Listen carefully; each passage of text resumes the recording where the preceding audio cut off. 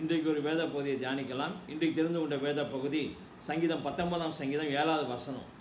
கர்த்தருடைய வேதம் கர்த்தருடைய வேதம் குறைவற்றதும் குறைவற்றதும் ஆத்துமாவை உயிர்ப்பிக்கிறதுமாய் இருக்கிறது. ஆத்துமாவை உயிர்ப்பிக்கிறதுமாய் இருக்கிறது என்று சொல்லி சொல்லப்பட்டிருக்கிற ஒரு காரியத்தை பார்க்கணும். வேதமானது குறைவற்றதும் ஆத்துமாவை உயிர்ப்பிக்கிறதுமாய் காணப்படுகிற ஒரு காரியம். இன்னும் சங்கீதம் நூற்றி பத்தொன்பதாம் சங்கீதம் எழுபத்தி ரெண்டாவது வசனத்தை வாசிக்கும் பொழுது அநேகம் ஆயிரம் அநேகம் ஆயிரம் பொன் வெள்ளியை பார்க்கிலும் பொன் வெள்ளியை பார்க்கிலும் நீர் விளம்பின வேதமே நீர் விளம்பின வேதமே எனக்கு நலம். எனக்கு நலம் என்று சொல்லி சங்கீதக்காரன் சொல்லுகிற ஒரு காரியத்தை பார்க்கணும். நம்முடைய வாழ்க்கையில் நமக்கு நலமான காரியம் எது என்று சொன்னால் தேவன் வெள்ளமின வேதம் என்று சொல்லி நாம் அறிந்து கொள்ள வேண்டிய ஒரு மக்களை கண்டுபிடுகிறோம் இன்னும் அதே சங்கீதம் நூற்றி பத்தொன்பதாம் சங்கீதம் நூற்றி நாற்பத்தி ரெண்டாவது வசனத்தை வாசிக்கும் பொழுது உம்முடைய நீதி உம்முடைய நீதி நித்திய நீதி நித்திய நீதி உம்முடைய வேதம் சத்தியம். உம்முடைய வேதம் சத்தியம் என்று சொல்லி சொல்லப்பட்டிருக்கிற ஒரு காரியம். அவருடைய வேதமானது சத்தியம்.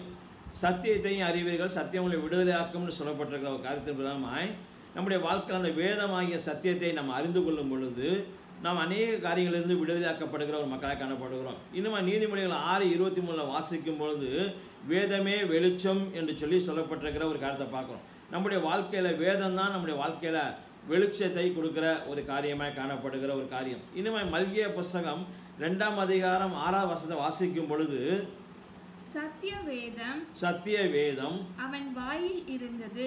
அவன் வாயில் இருந்தது.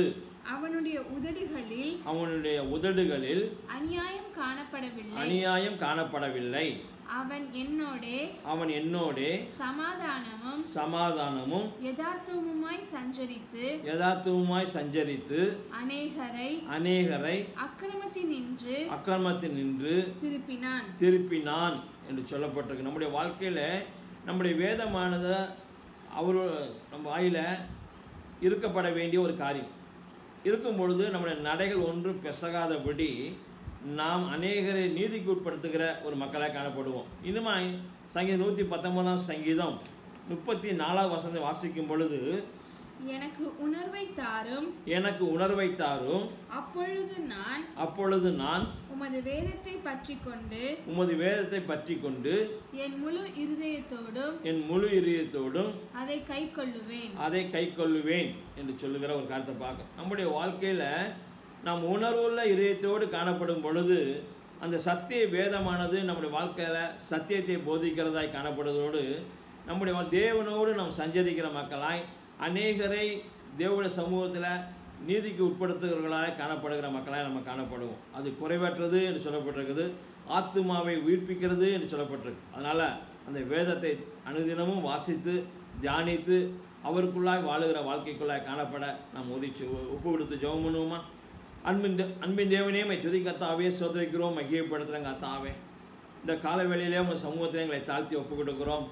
உங்களுடைய வேதமானது குறைவற்றதும் ஆத்மாவை உயிர்ப்பிக்கிறதுமா இருக்க. அந்த வேதத்தை நாங்கள் ஆராய்ந்து அறிந்து கொள்ளவும் தியானிக்கவும் எங்களுக்கு உணர்வுள்ள இதயத்தை தாரும். அந்த உணர்வுள்ள இதயத்தை தந்து அதன்படி நாங்கள் நடக்கவும் அது வெளிச்சமாய் காணப்படவும் எங்களுடைய வாழ்க்கையில் அது எல்லா சூழ்நிலையிலும் அதாவே எங்களுக்கு நலமாய் காணப்படவும் எங்களுக்கு உதவிச்சியும். தாழ்த்தி எங்களை ஒப்புக் கொடுக்குறோம் பொறுப்படுத்துக்கிறோம் கொள்ளும் இயேசு ஜபிக்கிறோம் நல்ல பிதாவே. அமீன்